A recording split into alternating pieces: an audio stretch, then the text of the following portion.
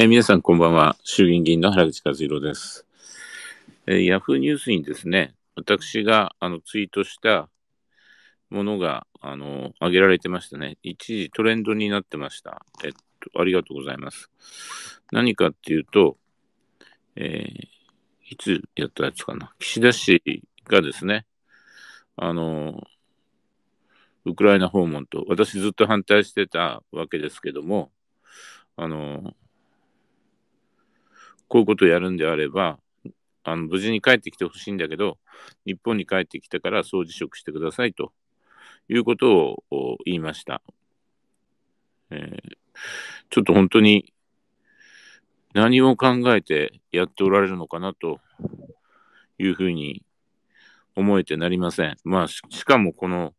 なんか電撃訪問とか言ってますが、官邸からなんでしょうかね。あの、この極秘訪問だったはずが、あの、情報が漏れ漏れでですね、あの、本当にこう、この内閣のタガの緩みっていうか、もう、タガの外れ方を象徴してると思うんですね。えっと、僕のツイートどれかなえっと、ずいぶん前のやつですね。あ、これか。え岸田氏ウクライナ訪問へ、インドで8兆円。8兆円じゃないみたいですね。もっと大きいみたいですね。9.8兆円っていう人もいて、ちょっと、まあ、国会に戻るんで、明日、あの、確認してみたいと思います。で、まあ、インドで8兆円約束してきた岸田氏が、ウクライナで今度いくら約束してくるのかと、えー中国の和平案に賛成するなとでも言うのかと、ウクライナの人々にももっと戦いなさいというのかと、えー無事に帰ってきてほしいけども、帰ってきたら総辞職してほしいと、こういうことをあの言ったわけですね。で、まあ、これがヤフーニュースっていうかな、産経新聞なのかな、取り上げられてニュースになってました。ありがとうございます。それでですね、ちょっとこれ、とんでもないことだっていうのは、日本の中ではわからないかもわからないけど、ちょっと、じゃあ、相手方はどう見てるかと、ね。だからもう、それは相手方ですよ。僕が言ってんじゃないですよ。あの、どうぞプロパガンダだと聞き流してもよし、いや、これは本気なんだと考えてもよし、あくまで皆さんの、あの、ご判断の材料としてですね、あの、プラウダが早速反応してますね。えー岸田氏のウクライナ訪問、えー機械翻訳できますから、私もロシア語若干やったんですけど、結構難しくて、あの、放棄してるんで、機械翻訳で申し訳ないです。で、岸田氏のウクライナ訪問、日本は第二次世界大戦の結果を忘れていたっていう、まあ、これある意味衝撃的な内容なんですね。で、私、この第二次世界大戦の結果を忘れていたっていうことを、あの、ずっと言い続けて、忘れちゃいかんっていうことをずっと言い続けてきたんですね。で、それは、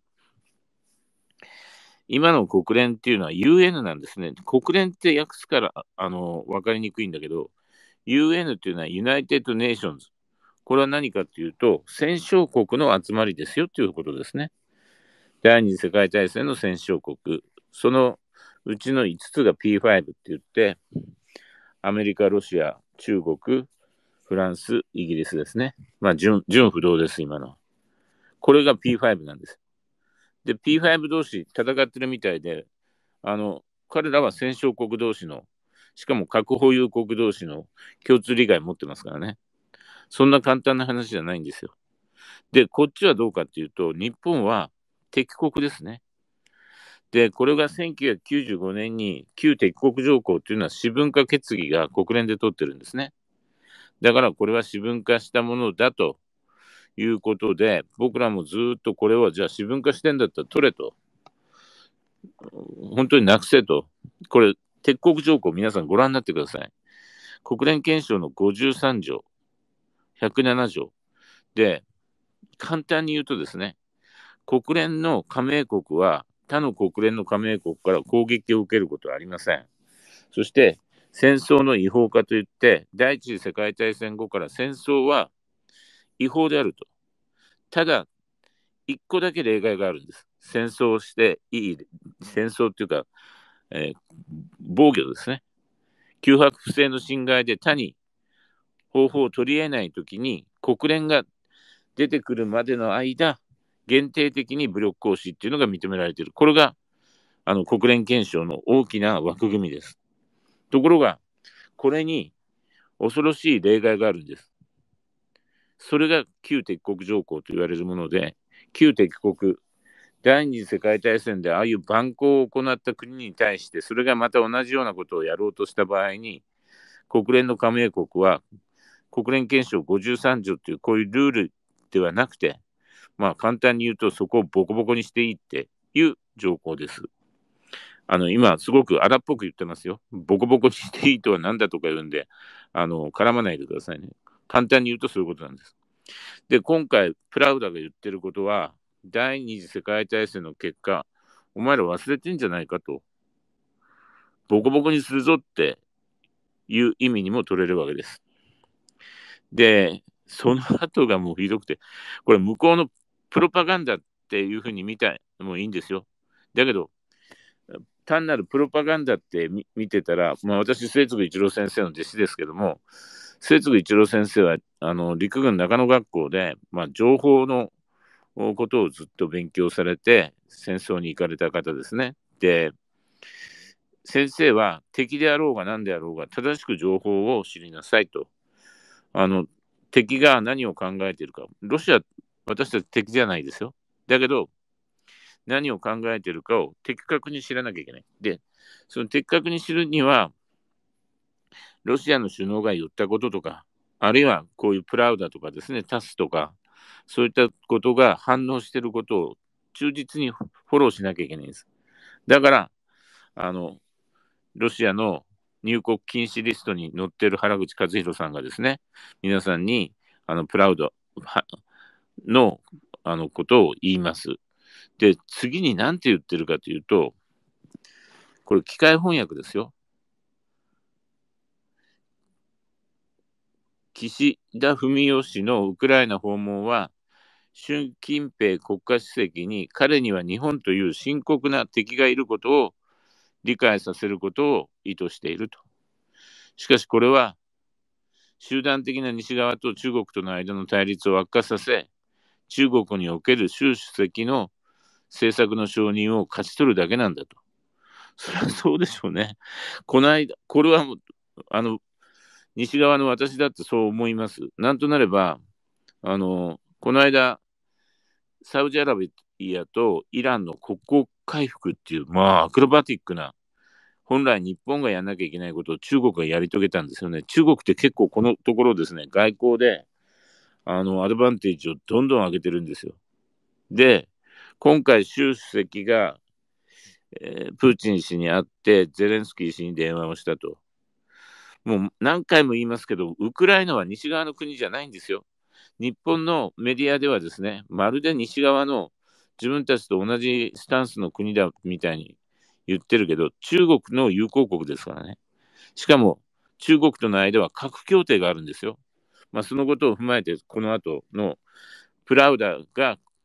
ここで何て言ってるかだけ、ちょっと丁寧にここは追っといた方がいいんで、あの記事を読みますね。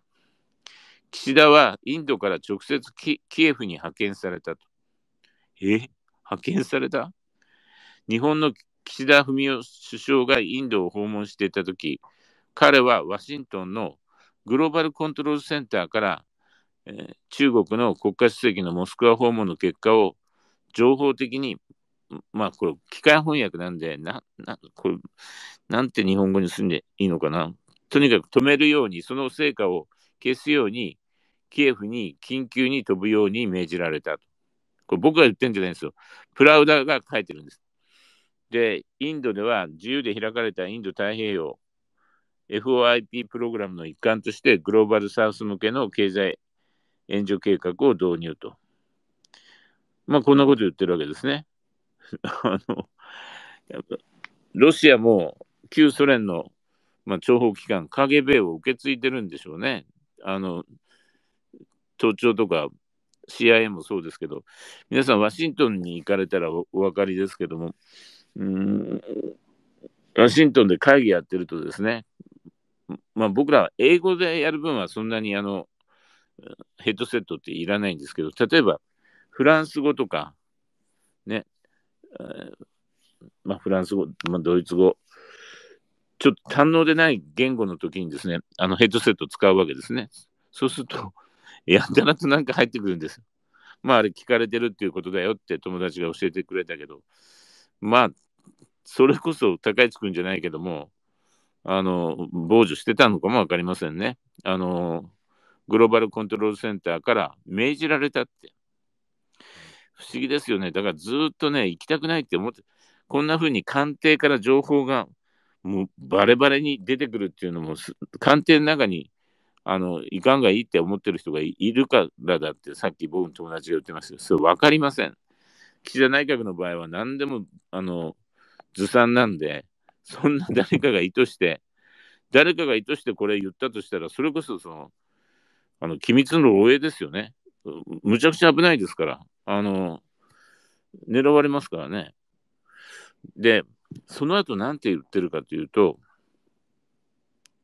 家庭やインド太平洋さっきの FOIP プログラムの一環として、グローバルサウス向けの経済計画援助を導入したと。グローバルサウスという用語は中国の統合プログラムに 使用されている言葉なんだと。岸田はロシア連邦と中国との戦争の道を歩むって、つまり挑発されたと思ってるわけです。で、ジャパンタイムズによると、岸田氏はアジア、アフリカ、ラテンアメリカの経済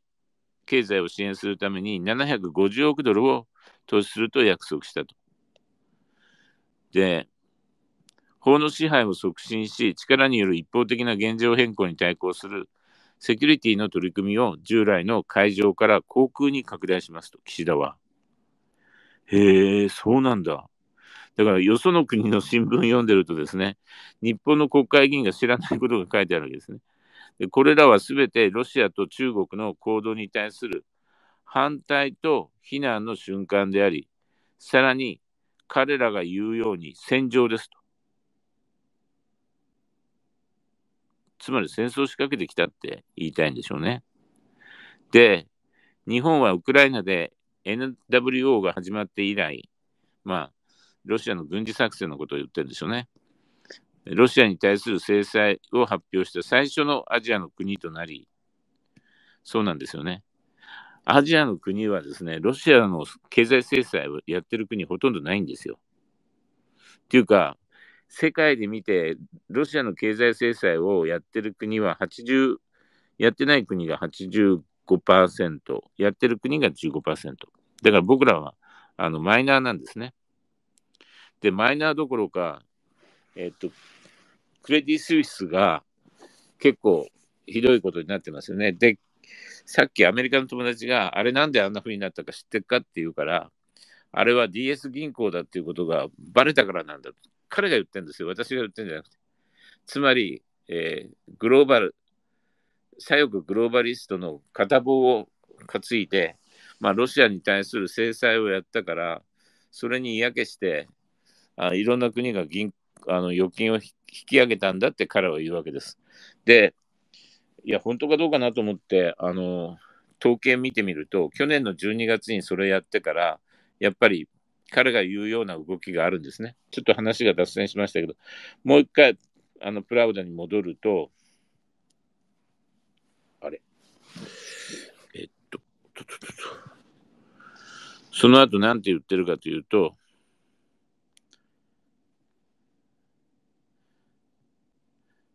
岸田氏の突然のウクライナ訪問は中国やロシアとの長年にわたる国境紛争を抱え、日本が積極的な外交政策を追求していることを示していると。したがってセキュリティの観点からは不合理ですと。明らかに中国では日本が第二次世界大戦で3500万人の中国人を殺害して以来、日本の攻撃性が北京の現在の外交政策の人気を高める、そういう結果になるでしょうと。まあ、あの、対中国に対してもですね、た、例えば、うんと、アメリカ？アメリカもレーガン政権とかそういうのはすごく融和的ですね。今みたいな、まあ、えー、グローバル左翼政権で、中国に対してこんだけ言ってるっていうのは、今がやっぱりピークですね。で、日本も、今、この岸田内閣が、まあもちろん安倍内閣は、ああいうあのキャラクターの総理でしたからあ、いろんなことがあったけど、ロシアにはですね、安倍外交の、まあなんていうか、あれ、えー、っと、なん、なんて言いましたかね、えー、っと、地球儀を俯瞰したような外交って言ってましたね。安倍さんはね。で、それ何かっていうと、そのロシアと融和的にすることによって、あの、安倍内閣のブレーンが僕に言ってくれたことですよ。安倍さんがそれを言ったんじゃないんで、ちょっとここ、あの、安倍さんは最後まで言わずに、ちょっともう天に召されてしまったんで、ただ、ブレーンが言ったのはこういうことだったですね。安倍外交っていうのは何かっていうと、あの、強大なアメリカでも2方面の戦争できないから、ロシアと融和的で、彼はプーチン氏と32回会ったんでしたっけね。会って、僕もその時に安倍さんに、末次一郎先生の弟子として北方領土返還運動をやってきたから、あの、対ロシアについては協力することは何でも協力するって言って、彼からちょっとここから先は言えないけども、いくつかの、あの、共通ミッションみたいなものをね、あの、やってたんです。そういう意味じゃ、その安倍さんの外交っていうのは戦略性がはっきりしてたんですね。中国をロシアと仲良くすることによって、まあ、あの方は中国はあんまり好きでなかったんでしょうね。抑え込むっていう戦略を取ったわけです。ところが今回、岸田氏は、まあ、それどころか、中国もロシアも敵にしてるというふうに、プラウダは書いてます。この3500万人の中国人とかいうのはね、あの、本当にどうかなと思うんですけども、で、岸田の計画は日本では支持されていない。ジャパンタイムズは日本経済がインフレ率の上昇と世界世界的なリセッション、えっと、なんだ、景気後退だな。景気後退に直面し、その岸田氏の計画は、まあ本当に、えー、風前の乏しみであるっていうふうに書いてるわけですね。で日本国民はまた防衛費の増加について懸念を表明しており、これは増税につながり、すでに低い岸田氏の格付けをさらに引き下げる可能性が高いと。えー、ただ、時事通信社の世論調査によると、22月は29.9%で、1月から2.1%上昇しましたが、回答者の40.9%が首相の行動を支持していませんと。まあ、詳しいですよね。で、まあ、これが大体のこのプラウダの今今日の反応です。あくまでこれ僕が言ってんじゃなくて、プラウダの反応。でも、いくつかのキーワードが出てきました。一つは、ワシントンのコントロールセンターから指示をされたと。能動的に言ったんじゃないっていうふうにロシアは見ているっていうことです。それからもう一個は、日本は第二次世界大戦の結果を忘れたと。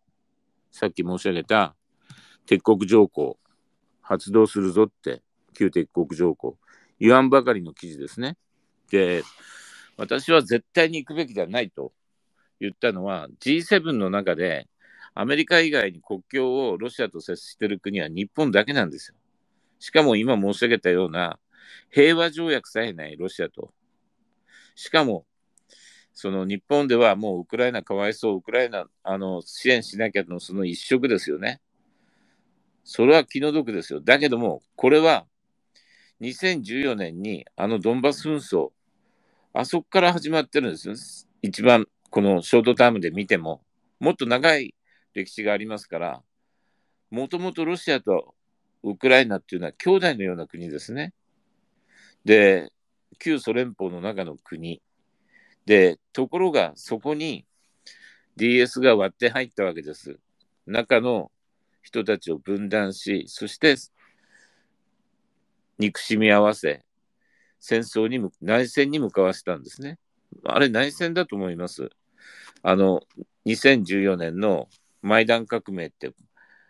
あの、世界で起きてるカラー革命、日本じゃ偉い素晴らしい民主革命みたいに言われてますが、そうじゃないですよ。あれは、あの、グローバリスト DS が引き起こしたテロ、テロ、クーデター、いわゆる体制転覆のクーデターという見方をする人の方が多いですね。で、2014年のマイダン革命っていうのは、民主的な選ばれていたもの。もともとだからゼレンスキーさんも、ロシアとは融和的にやるんだっていうことをやって出てきたんですね。ところが、あそこも日本と同じように、アゾフ大隊とかですね、これ、あの、公安のホームページには、まさに、これ書き換えましたけどね、アゾフっていうのはネオナチ本当にその危険なあの集団だって、それ書き換えてますよ。あの、この 戦争が始まってから、それこそワシントンのコントロールセンターに言われたのかもわかりませんね。あんなその役所がですね、急に自分のホームページを変えるなんていうのは、めったにないことですね。アゾフっていうのを皆さん覚えておいてください。アゾフ。アゾフは一体何か？で、これギリシャの国会だったかな？イスラエルの国会、あ、そうか。両方で、あの、どっちかな？ギギリシャでアゾフの人が映り込んで議会が紛糾したり、えー、イスラエルでは言っちゃならない言葉を言って、あの、議員がですね、反発したりっていうことがありました。で、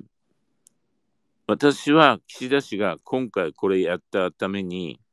長年私たちが持っていたサハリン1、2の権益、さらに厳しくなったと思います。日本はですね、海外に、あの、原油、エネルギーを依存してます。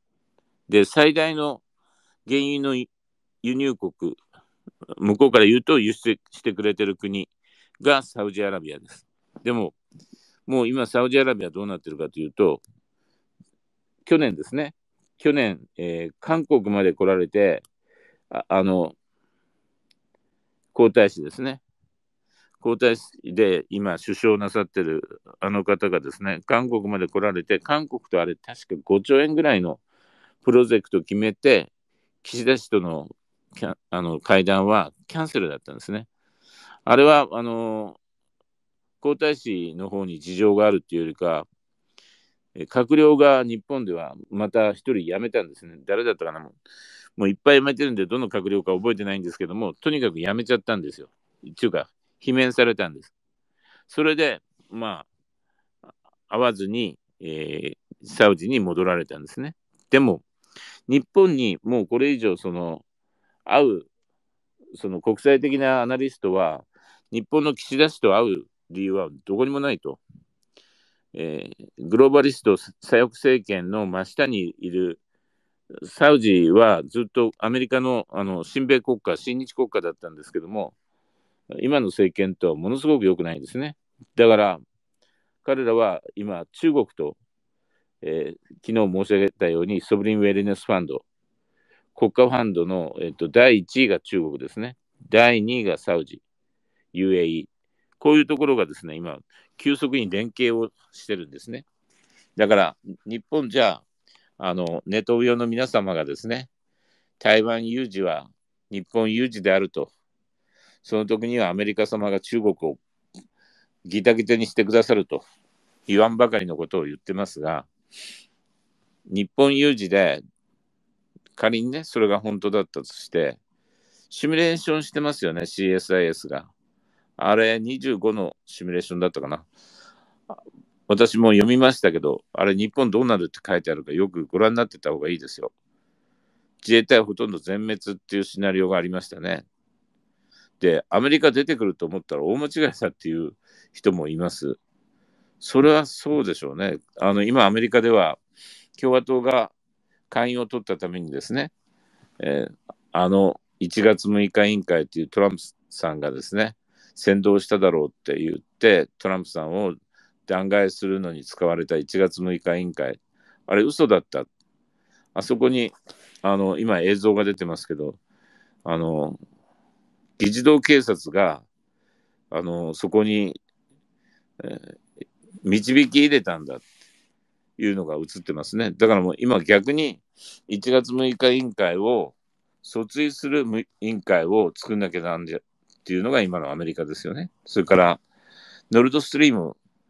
1、2の破壊についてももう世界の人たちが言い出してますね。あれやったのは誰かと。まあ、ロシアじゃないことは確かですね。だって自分のパイプラインを自分であんな、あの、手の込んだやり方で破壊する必要ないわけですから。まあ、シモア・ハッシュ氏の、まあ、これも日本のジャーナリストに、シモア・ハッシュさんをもう、ね、あなたいいつも信じてるみたいに言うけどっていう人がいたんだけど、調査報道読んだらいいんですよ。あんだけ詳しいのそんなの偽造で書けるわけないし、あれ内部告発でしょし、下橋さんのはほとんどがそうだし、あの、プロジェクトベリタスも、この名前はなくなったけども、あれもそうですよね。開示が進んでるんですよ。で、話を戻すと、今回の岸田氏のウクライナ訪問が日本にもたらすものは3つです。私が考えるのね。一つは、まあ、莫大な、えー、援助ですね。復興支援をやれと言われている。だってアメリカの友人は言ってましたね。もうそれは決まってるぞと。去年の5月のサミットかなんかで、お前とか復興やれと。ところがですよ、僕が心配してるのは、武器を渡す可能性があるんですよね。それこそワシントンのコントロールセンターに言って、もっと戦争やれと。で、なんとなれば、アメリカはもう債務上限に達していて、これ以上武器の支援ができないんですよ。まあ、武器の支援ができたからって言って、例えばミグ29をですね、4機入れたからってどうなるもんでもない。また、あの、レオパルド戦車だなんだって言ってるけど、あれ、あの、使うのに時間かかりますからね、訓練かかりますから。もう本当になんていうかな、ウクライナを、その、廃棄する武器武器の、武器捨て場にすんなって、あれ、ウクライナの友達が言ったかな、すごく怒ってる人たち、当たり前ですよね。しかも戦場に行かされてですよ。もう、ロシアの的になる、あるいはその、そういう、あの、兵器も横、横流しされる。あの、アフガニスタンの時もそうでしたね。莫大な武器を入れて、そして後でその刀狩り、それ、それがテロリストに渡ったり、他の軍事集団に渡るっていうのをどんだけ、あの、金かけてやったか。今回もウクライナも多分そうなるんだと思うんです。で、まず一番目はその莫大な金を、あの、約束してくること。ちょっともうニュースに出てるかもわかりませんね。それから、もう一個は武器を、それに付随して武器を渡すこと。このこれもう後戻りできませんからね。戦争行為ですから。旧鉄国条項のある国が戦争行為やったって言ったら、真っ先に、あの、その反動としてですね、我が国が的になると。実際にそれを導いたと。これが2番目のリスクですね。それから3番目のリスク。これはもう私たちが持っていたエネルギーの権益、そして北方領土の返還運動、これも水の泡となることですね。似たようなことがイランのアザデガンというところであったんですね。アザデガン、原油、石油をですね、もう一生懸命日本の企業と、それからその時は私、名前は言えませんけども、経産省の、まあ、エリート官僚ですね。彼、その時にちょうどイランにいたんですね、僕らは。2001年のあれは8月の10何日だったか。イランにいて、彼はこぼれる涙を本当に、あの、拭くことなく、太陽の方をあの睨んでましたね。なんでこんな目に遭うんだって。俺たちは主権国家だろうって。なんで俺たちはここまでやってきたのをもうそのまま言いますよ。あいつらに邪魔されなきゃいけないんだって、涙を流してました。彼はもう、今官僚ではないですね。卒業して、まあでも日本のために、日の丸背負って今一生懸命やってますよ。で、このサハリン1、2もそうですね。で、サハリン1、2は日本にとって、さっき言った中東からの依存をですね、分散するための切り札なんですね。ロシアの安価な天然ガスを日本の人たちが使うっていうのは、それは安倍さんの時代にはですね、まあ、ほとんど確定していたことだったんですね。でももう岸田氏になって、これもうほとんど風前の灯火っていうのが今の残念なことな現状です。で、北方領土の返還運動も、えー、前にも何回も申し上げました末次一郎先生の弟子で私、ウラジオストクやユジノサハリンスクやももちろんモスクワ、それからサンクトペテルブルグで彼らともずっと議論してきました。あの、1956年の日ソ共同声明、あれをベースにですね、ロシアに、ソ連、旧ソ連の時代からソ連に領土問題があるということを認めさせる。これがワンステップ目だったんですこれで認めたんです、向こうは。そして、その後に東京宣言、これ細川内閣の時ですけども、東京宣言っていうのを旧ソ連と日本との間で、あロシアですね、あの結んだんですね。えっと、東京宣言の時はもうベルリンの壁が崩壊、まだロシアは崩壊して、ソ連は崩壊してないか、ぐらいの時ですね。で、ソ連が崩壊して、えー、ゴルバチョフ、エリチンと来て、エリチン氏の時、あの、川根会談とかいろんなことを経て、そしてプーチン氏で、あの、イルクーツク声明っていうのを、プーチン氏が、あの、署名してるわけですよ。つまり日本に、いわゆるハブマイシコタンだけじゃなくて、クナシリエトロフ、これも含めて、えー、領土問題を解決するっていうことが合意されてきたわけです。解決して、そして平和条約を結ぶと。もう一歩のところまで来たんです。あれは1999年だったと思いますけども、私たちがもう北方領土交渉がほぼ成功するって言ったときに、横やりが日本側から入ったんですね。あの、議事録が残ってますからご覧になってください。今、ロシアは一番苦しい時だと。苦しい時に領土問題なんていうのを言うべきでないっていう、これ自民党の政治家ですよ。そこでまた下がっていくわけです。で、今回の下がり方はもうその時の下がり方の日じゃないです。もうとてもでない。あの、もう、今、プラウダのあれを読みましたけど、鉄国ですから。鉄国ですから。ほんで、スタンドオフミサイルとかいうのを、あの、石垣島に入れるんですかね。飛行機と同じぐらいの、あれで、極超音速ミサイルの的にされるのがオチじゃないですか。本当にその、ひどいことやってるなと思います。さて、もうこれでおしまいにします。私は岸田氏のウクライナ訪問っていうのは、百害あって一理なしだと思います。なんかの日本の国益で何かいいものがあるかと。目の前で7人に1人の子供が貧困にあえいでる。もう7人に1人じゃないですね。6人に1人ですよ。そして子供食堂。給食が唯一の栄養源だっていう。その子たちにはお金を渡さないで、なんで、まあ、いくら渡すんですかね。インド太平洋の、いわゆる、あれだって、そのブリックスが向こう側に行くのを、あの、抑えるっていう、そんだけでしょ金で抑えるっていうんでしょでも、絶対に無理ですよ。なんとなれば、それらの国の、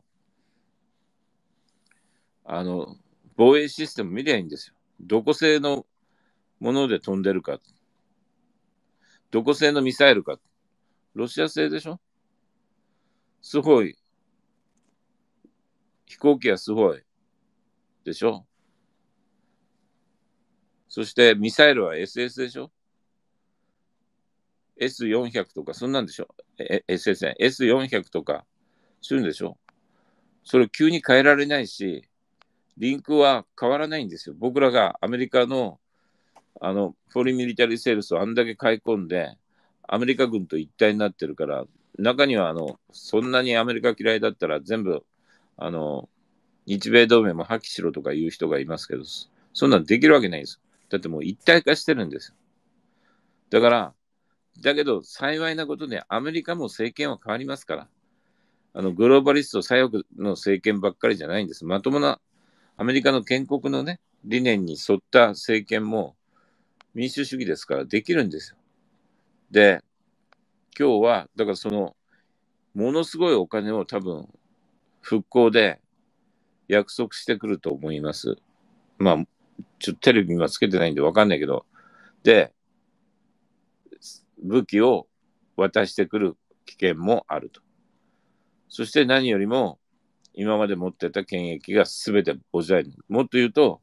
今のプラウダが書いてるのは一部真実だと思いますね。だって、向こうが敵だと思うって言ってんだから。そこはあの、僕らがプロパガンダだって言って、向こうが敵だと思うっていうのは、それはあの、違うということを言えませんよね。本当に、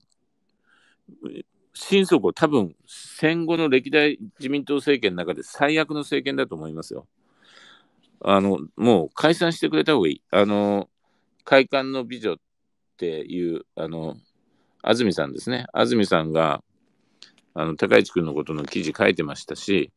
今回僕のこのこれ見ても、あの、解散し求めたがいいですねって。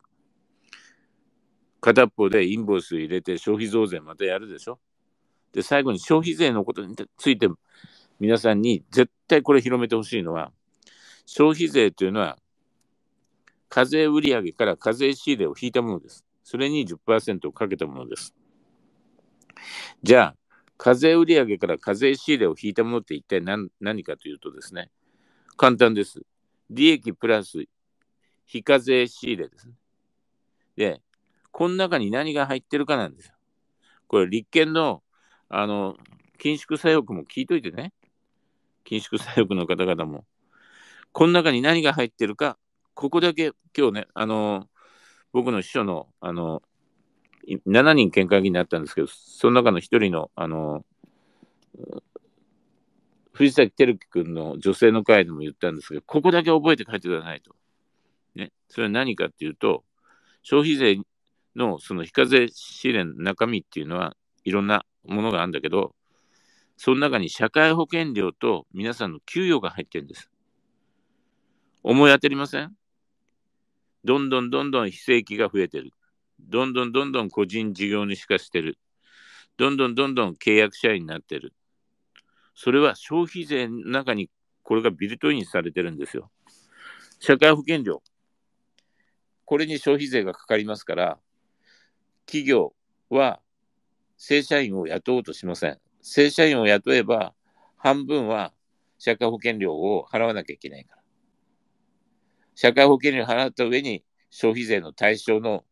税額が増えるわけです。給料。給料払いたくありません。なんとなれば、これが消費税の対象だからです。消費税、だからこれ連合の仲間にも言いたいけども、まだみんななんとかな、緊縮左翼のあの間違いをそのまま引きずってんですよ。連合が給料が減る方に加担したら、組合員が増えるわけないじゃないですか。ね、みんな給料が高くなって、人間らしい働き方がしたいっていうのが連合でしょそれが給料を下げる方向に賛成しちゃ絶対ダメですよ。ね、これ聞いてる連合のあの、同志の皆さん、ぜひね、連合全体でもそれは、あの、原口和弘が言ってたんだけど、これ給料にかかってんだよって給与に。社会保険料にかかってんで、給料が下がり続けるっていうことは、これ何かっていうと、ね、今日もあそこで、あの、藤崎君のところで言いましたけど、年金のマクロ経済スライド。年金も下がるって話ですからね。だから、日本の弱体化装置なんです。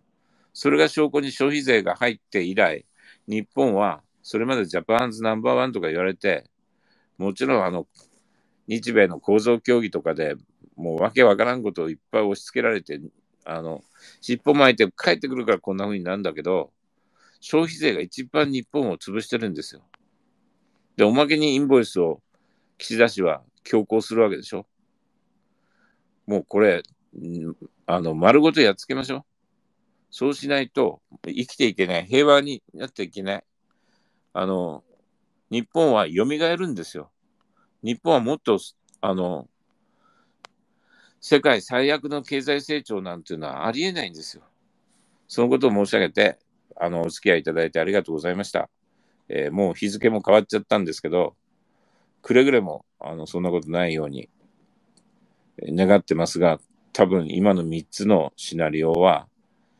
現実化するんじゃないかなと思います。じゃあ、皆さんどうぞおやすみなさい。ごきげんよう。